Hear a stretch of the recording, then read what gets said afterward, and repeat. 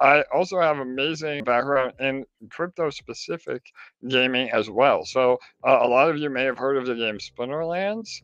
Um, they are a again a very similar style uh, TGC uh, trading card game uh, on uh, on Hive Network, and uh, I was one of the very first players.